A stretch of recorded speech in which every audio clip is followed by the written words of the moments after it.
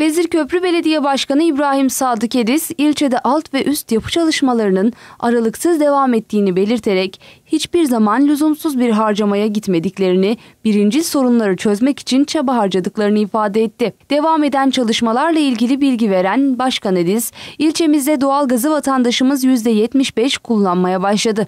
2012 yılında başlatılan kanalizasyon çalışmaları sürüyor. Yağmur suları, asbestli boruların değişmesi ve içme suyu çalışmaları devam ediyor. 2014 yılından itibaren yağmur suları ve kanalizasyon çalışmaları SASKİ tarafından devam ettiriliyor. Şunu ifade etmek isterim biz lüzumsuz harcama yapmadık. Hep tamir yaptık dedi. Çalışmaların bittiği yerlerde asfaltlama ve parke çalışmalarını gerçekleştirdiklerini belirten Başkan İbrahim Sadık Ediz, bunlar çağdaşlaşmanın, ilerlemenin kanıtıdır. Vatandaşımızın memnuniyeti için çalışmalarımız durmadan devam edecek. Biz olayın makyaj cila yönüne geçtik ve bundan da gurur duyuyoruz diye konuştu.